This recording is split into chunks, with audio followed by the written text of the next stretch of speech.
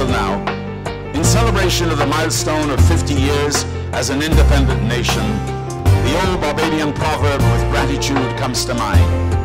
Never eat and forget.